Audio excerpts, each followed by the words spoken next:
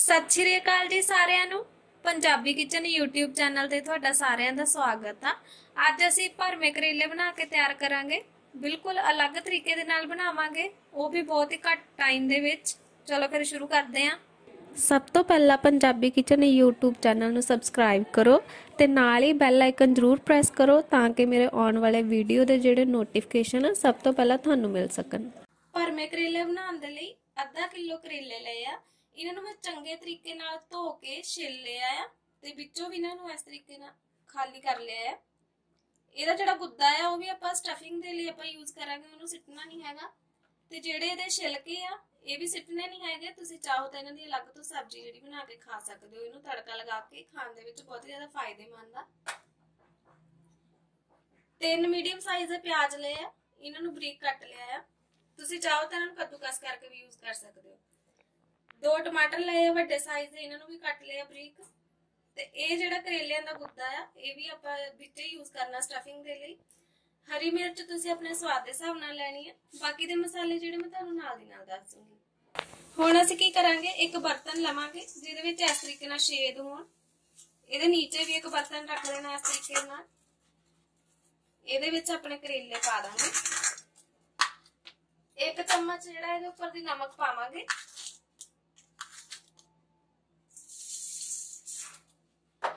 ਤੇ ਇਹਨੂੰ ਚੰਗੇ ਤਰੀਕੇ ਨਾਲ ਨਮਕ ਨੂੰ ਜਿਹੜਾ ਕਰੇਲਿਆਂ ਦੇ ਨਾਲ ਇਹਦਾ ਲਗਾ ਦੇਣਾ, ਮਿਲਾ ਦੇਣਾ ਹੈ।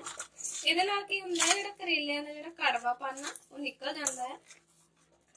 ਚੰਗੇ ਤਰੀਕੇ ਨਾਲ ਇਹਦਾ ਨਮਕ ਜਿਹੜਾ ਆਪਾਂ ਲਗਾ ਦੇਣਾ। ਨਮਕ ਜਿਹੜਾ ਮੈਂ ਚੰਗੇ ਤਰੀਕੇ ਨਾਲ ਇਸ ਤਰੀਕੇ ਨਾਲ ਕਰੇਲਿਆਂ ਨੂੰ ਲਗਾ ਦਿੱਤਾ ਹੈ। ਇਹਦੇ ਨਾਲ ਕੀ ਹੋਊਗਾ, ਜਿਹੜਾ ਇਹਦਾ ਕੜਵਾਪਨ ਆ, ਪਾਣੀ ਜਿਹੜਾ ਇਹਦਾ ਨਿਕਲ ਜਾਂਦਾ ਹੈ। ਇਸੇ ਲਈ ਥੱਲੇ ਬਰਤਨ ਰੱਖਿਆ ਹੈ। ਹੁਣ ਅਸੀਂ 15 ਤੋਂ 20 ਮਿੰਟ ਲਈ ਇਹਨੂੰ ਧੁੱਪ ਦੇ ਵਿੱਚ ਰੱਖ ਦਾਂਗੇ। ਜੇ ਧੁੱਪ ਨਹੀਂ ਹੈਗੀ ਤਾਂ ਤੁਸੀਂ ਐਸੇ ਤਰੀਕੇ ਨਾਲ ਵੀ ਇਹਨੂੰ ਰੱਖ ਸਕਦੇ ਆ, ਤਾਂ ਕਿ ਜਿਹੜਾ ਇਹਦਾ ਪਾਣੀ ਉਹ ਨਿਕਲ ਸਕੇ।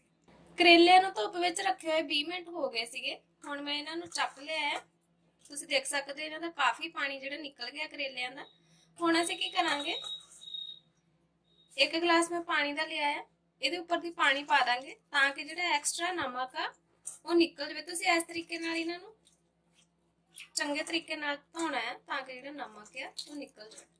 ਕਰੇਲਿਆਂ ਨੂੰ ਚੰਗੇ ਤਰੀਕੇ ਨਾਲ ਮੈਂ ਧੋ ਲਿਆ ਪਾਣੀ ਦੇ ਨਾਲ, ਜਿਹੜਾ ਇਹਨਾਂ ਦੇ ਵਿੱਚ ਐਕਸਟਰਾ ਨਮਕ ਸੀਗਾ ਉਹ ਨਿਕਲ ਗਿਆ। ਹੁਣ ਅਸੀਂ ਇਸ ਤਰੀਕੇ ਨਾਲ ਕੋਈ ਵੀ ਕੱਪੜਾ ਲੈ ਕੇ ਇਹਨਾਂ ਨੂੰ ਪੋਚ ਲਾਂਗੇ ਇਸ ਤਰੀਕੇ ਦੇ ਨਾਲ। ਚੰਗੇ ਤਰੀਕੇ ਨਾਲ ਪੋਚਣਾ ਹੈ, ਪਾਣੀ ਨਹੀਂ ਹੋਣਾ ਚਾਹੀਦਾ। ਜਾਂ ਤੁਸੀਂ ਇਹਨਾਂ ਨੂੰ ਦੁਬਾਰਾ ਵੀ ਧੁੱਪ ਦੇ ਵਿੱਚ ਰੱਖ ਸਕਦੇ ਹੋ। ਇਸ ਤਰੀਕੇ ਨਾਲ ਪੋਚ ਕੇ ਤੁਸੀਂ 5 ਤੋਂ 10 ਮਿੰਟ ਲਈ ਇਹਨਾਂ ਨੂੰ ਪੱਖੇ ਦੀ ਹਵਾ ਥੱਲੇ ਵੀ ਰੱਖ ਸਕਦੇ ਹੋ ਤਾਂ ਕਿ ਜਿਹੜਾ ਇਹਨਾਂ ਦਾ ਪਾਣੀ ਹੈ ਉਹ ਸੁੱਕ ਜਾਵੇ।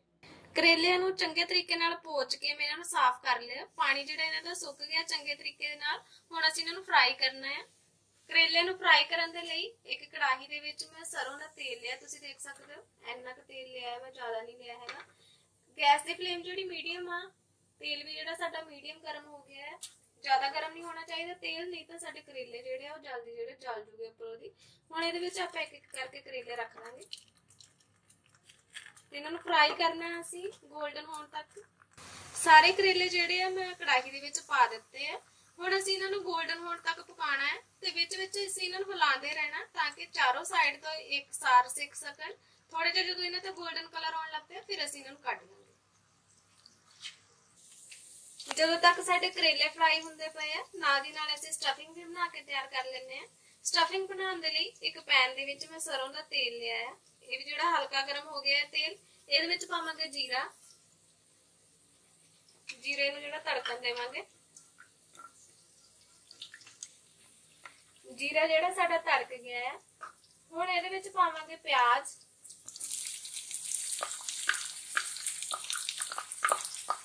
ਮਿਲਾ ਦਾਂਗੇ। ਪਿਆਜ਼ ਨੂੰ ਜ਼ਿਆਦਾ ਨਹੀਂ ਪਕਾਣਾ ਹੈਗਾ, ਸਿਰਫ ਇਹਨਾਂ ਦਾ ਕੱਚਾਪਨ ਜਿਹੜਾ ਦੂਰ ਕਰਨਾ ਹੈ। ਤੇ ਜਦੋਂ ਤੱਕ ਇਹ ਸੌਫਟ ਨਹੀਂ ਹੋ ਜਾਂਦੇ, ਉਦੋਂ ਤੱਕ ਅਸੀਂ ਇਹਨਾਂ ਨੂੰ ਪਕਾ ਲਾਂਗੇ। ਗੈਸ ਦੀ ਫਲੇਮ ਤੁਸੀਂ ਮੀਡੀਅਮ ਰੱਖਣੀ ਹੈ। ਨਾਲ ਦੀ ਨਾਲ ਆਪਾਂ ਆਪਣੇ ਕਰੇਲੇ ਵੀ ਚੈੱਕ ਕਰਦੇ ਹਾਂ। ਹਲਾਉਂਦੇ ਰਹਿਣਾ ਇਹਨੂੰ ਵਿੱਚੋਂ ਹੀ, ਤੁਸੀਂ ਦੇਖ ਸਕਦੇ ਹੋ ਇਹਦਾ ਕਲਰ ਜਿਹੜਾ ਥੋੜਾ ਥੋੜਾ ਚੇਂਜ ਹੋਣਾ ਸ਼ੁਰੂ ਹੋ ਗਿਆ ਹੈ।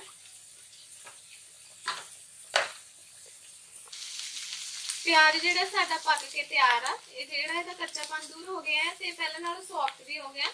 ਹੁਣ ਇਹਦੇ ਵਿੱਚ ਪਾਵਾਂਗੇ ਹਰੀ ਮਿਰਚ। ਹਰੀ ਮਿਰਚ ਤੁਸੀਂ ਆਪਣੇ ਸਵਾਦ ਦੇ ਹਿਸਾਬ ਨਾਲ ਪਾਣੀ ਹੈ। ਮਿਲਾ ਦਾਂਗੇ। ਇੱਕ ਸੈਕਿੰਡ ਲਈ ਮਿਰਚ ਨੂੰ ਜਿਹੜਾ ਆਪਾਂ ਭੁੰਨ ਲੈਣਾ ਹੈ। ਹੁਣ ਅਸੀਂ ਇਹਦੇ ਵਿੱਚ ਪਾਵਾਂਗੇ ਟਮਾਟਰ। ਦਾਂਗੇ। ਟਮਾਟਰ ਪਾਉਣ ਤੋਂ ਬਾਅਦ ਨਾਲ ਹੀ ਇਹਦੇ ਵਿੱਚ ਆਪਾਂ ਨਮਕ ਪਾ ਦੇਣਾ ਤਾਂ ਕਿ ਜਿਹੜੇ ਸਾਡੇ ਟਮਾਟਰ ਆ ਉਹ ਜਲਦੀ ਸੌਫਟ ਹੋ ਸਕਣ। ਨਮਕ ਤੁਸੀਂ ਆਪਣੇ ਸਵਾਦ ਦੇ ਹਿਸਾਬ ਨਾਲ ਪਾਣਾ ਹੈ। ਮਿਲਾ ਦਾਂਗੇ। ਤੇ ਉਦੋਂ ਤੱਕ ਅਸੀਂ ਇਹਨੂੰ ਪਕਾਣਾ ਹੈ, ਜਦੋਂ ਤੱਕ ਜਿਹੜੇ ਸਾਡੇ ਟਮਾਟਰ ਆ ਉਹ ਸੌਫਟ ਨਹੀਂ ਹੋ ਜਾਂਦੇ। ਜਦੋਂ ਤੱਕ ਸਾਡੇ ਟਮਾਟਰ ਸੌਫਟ ਹੁੰਦੇ ਪਏ ਆ, ਇਹ ਕਰੇਲਿਆਂ ਦੇ ਵਿਚਲਾ ਜਿਹੜਾ ਗੁੱਦਾ ਸੀਗਾ, ਉਹਨਾਂ ਨੂੰ ਵੀ ਅਸੀਂ ਹਲਕਾ ਜਿਹਾ ਕੁੱਟ ਲੈਂਦੇ ਆ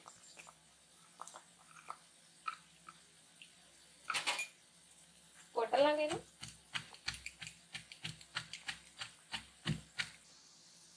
ਇਹਨੂੰ ਮੈਂ ਕੁੱਟ ਲਿਆ ਗੁੱਦੇ ਨੂੰ, ਤੁਸੀਂ ਦੇਖ ਸਕਦੇ ਹੋ। ਹੁਣ ਇਹਨੂੰ ਅਸੀਂ ਸਾਈਡ ਤੇ ਰੱਖ ਲਾਂਗੇ ਤੇ ਆਪਣੇ ਕਰੇਲੇ ਤੇ ਆਪਣੀ ਸਟਫਿੰਗ ਜਿਹੜੀ ਉਹ ਚੈੱਕ ਕਰ ਲੈਣੇ ਆ ਤੁਸੀਂ ਦੇਖ ਸਕਦੇ ਹੋ, ਇਹਨਾਂ ਦਾ ਕਲਰ ਜਿਹੜਾ ਥੋੜਾ ਥੋੜਾ ਚੇਂਜ ਹੋਣਾ ਸ਼ੁਰੂ ਹੋ ਗਿਆ ਹੈ। ਹਜੇ 2 ਤੋਂ 3 ਮਿੰਟ ਲਈ ਅਸੀਂ ਇਹਨਾਂ ਨੂੰ ਹੋਰ ਪਕਾਵਾਂਗੇ। ਤੁਸੀਂ ਦੇਖ ਸਕਦੇ ਹੋ, ਪਹਿਲਾਂ ਨਾਲੋਂ ਜਿਹੜਾ ਇਹਨਾਂ ਦਾ ਕਲਰ ਜਿਹੜਾ ਹੈ ਚੇਂਜ ਹੋਣਾ ਸ਼ੁਰੂ ਹੋ ਗਿਆ ਹੈ। ਟਮਾਟਰ ਵੀ ਜਿਹੜੇ ਸਾਡੇ ਚੰਗੇ ਤਰੀਕੇ ਨਾਲ ਸੌਫਟ ਹੋ ਗਏ ਹੁਣ ਜਿਹੜਾ ਅਸੀਂ ਕਰੇਲਿਆਂ ਦਾ ਗੁੱਦਾ ਜਿਹੜਾ ਆਪਾਂ ਕੁੱਟ ਕੇ ਰੱਖਿਆ, ਉਹ ਵੀ ਇਹਦੇ ਵਿੱਚ ਪਾ ਦਾਂਗੇ। ਮਿਲਾ ਦਾਂਗੇ ਗੁੱਦੇ ਨੂੰ ਵੀ ਚੰਗੇ ਤਰੀਕੇ ਦੇ ਨਾਲ। ਦੋ ਤੋਂ 3 ਮਿੰਟ ਲਈ ਅਸੀਂ ਇਹਨੂੰ ਪਕਾ ਲਾਂਗੇ, ਤਾਂ ਕਿ ਜਿਹੜਾ ਇਹਦੇ ਗੁੱਦੇ ਦੇ ਵਿੱਚ ਵੀ ਕੜਵਾ ਪਾਣਾ ਉਹ ਵੀ ਨਿਕਲ ਜਵੇ। ਹੁਣ ਅਸੀਂ ਇਹਦੇ ਵਿੱਚ ਪਾਵਾਂਗੇ ਹਲਦੀ, ਇੱਕ ਚੌਥਾਈ ਚਮਚ ਹਲਦੀ ਲਈ ਹੈ ਮੈਂ, ਮਿਲਾ ਦਾਂਗੇ।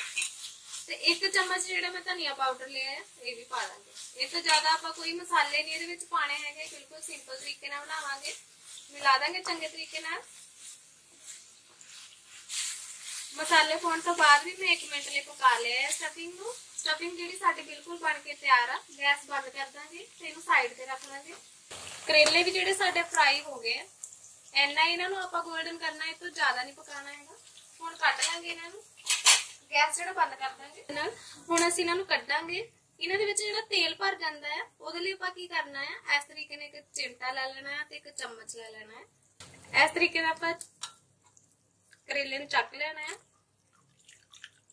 ਤੇ ਇਸ ਤਰੀਕੇ ਨਾਲ ਜਿਹੜਾ ਤੇਲ ਆ, ਉਹ ਸਾਰਾ ਆਪਾਂ ਕੱਢ ਦੇਣਾ ਹੈ।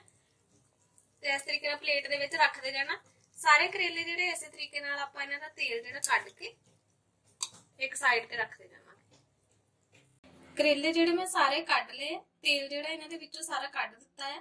ਹੁਣ ਅਸੀਂ ਕੀ ਕਰਾਂਗੇ? ਇਸ ਤਰੀਕੇ ਨਾਲ ਕਰੇਲੇ ਨੂੰ ਖੋਲ ਕੇ ਇਹਦੇ ਵਿੱਚ ਆਪਾਂ ਜਿਹੜੀ ਸਟਫਿੰਗ ਆ, ਉਹ ਭਰ ਦਾਂਗੇ। ਚੰਗੇ ਤਰੀਕੇ ਨਾਲ ਇਹਨੂੰ ਸਟਫਿੰਗ ਸਟਫ ਕਰਾਂਗੇ। ਐਸੇ ਤਰੀਕੇ ਨਾਲ ਸਾਰੇ ਕਰੇਲੇ ਜਿਹੜੇ ਅਸੀਂ ਭਰ ਲਾਂਗੇ ਇਸ ਤਰੀਕੇ ਨਾਲ ਇਹਨੂੰ ਖੋਲ ਕੇ ਸਟਫਿੰਗ ਜਿਹੜੀ ਭਰ ਦਾਂਗੇ ਐਸੇ ਤਰੀਕੇ ਨਾਲ ਆਪਾਂ ਜਿਹੜੇ ਸਾਰੇ ਕਰੇਲੇ ਆ, ਉਹ ਭਰ ਕੇ ਤਿਆਰ ਕਰ ਲਾਂਗੇ। ਕਰੇਲੇ ਜਿਹੜੇ ਮੈਂ ਭਰ ਕੇ ਤਿਆਰ ਕਰ ਲਏ ਆ ਸਾਰੇ, ਤੁਸੀਂ ਦੇਖ ਸਕਦੇ ਹੋ, ਦੇਖਣ ਦੇ ਵਿੱਚ ਕਿੰਨੇ ਵਧੀਆ ਲੱਗਦੇ ਪਏ ਆ ਤੇ ਖਾਣ ਦੇ ਲਈ ਉਹ ਤੋਂ ਵੀ ਜ਼ਿਆਦਾ ਟੇਸਟੀ ਆ 10 ਤੋਂ 12 ਮਿੰਟ ਦੇ ਵਿੱਚ ਜਿਹੜੇ ਬਣਾ ਕੇ ਤਿਆਰ ਕੀਤੇ ਆ ਇਹ ਕਰੇਲੇ, ਬਿਲਕੁਲ ਸਿੰਪਲ ਤੇ ਆਸਾਨ ਤਰੀਕੇ ਦੇ ਨਾਲ, ਕੋਈ ਧਾਗੇ ਬੰਨਣ ਦੀ ਜ਼ਰੂਰਤ ਨਹੀਂ ਪਈ। ਤੁਸੀਂ ਵੀ ਇਸੇ ਤਰੀਕੇ ਨਾਲ ਬਣਾਇਓ ਤੇ ਖਾਇਓ। ਜੇ ਵੀਡੀਓ ਚੰਗੀ ਲੱਗੀ ਤਾਂ ਵੀਡੀਓ ਨੂੰ ਲਾਈਕ ਕਰਨਾ ਸ਼ੇਅਰ ਕਰਨਾ ਤੇ ਕਮੈਂਟ ਕਰਕੇ ਜਰੂਰ ਦੱਸਣਾ ਕਿ ਰੈਸਪੀ ਕਿਹੋ ਜਿਹੀ ਲੱਗੀ। ਜੇ ਚੈਨਲ ਤੇ ਪਹਿਲੀ ਵਾਰੀ ਆਏ ਹੋ ਤਾਂ ਚੈਨਲ ਨੂੰ ਸਬਸਕ੍ਰਾਈਬ ਕਰਨਾ ਤੇ ਨਾਲ ਹੀ ਬੈਲ ਆਈਕਨ ਜਰੂਰ ਪ੍ਰੈਸ ਕਰਨਾ ਤਾਂ ਕਿ ਮੇਰੇ ਆਉਣੇ ਵਾਲੇ ਵੀਡੀਓ ਦੇ ਨੋਟੀਫਿਕੇਸ਼ਨ ਸਭ ਤੋਂ ਪਹਿਲਾਂ ਤੁਹਾਨੂੰ ਮਿਲ ਸਕਣ। ਵੀਡੀਓ ਦੇਖਣ ਲਈ ਬਹੁਤ ਬਹੁਤ ਧੰਨਵਾਦ।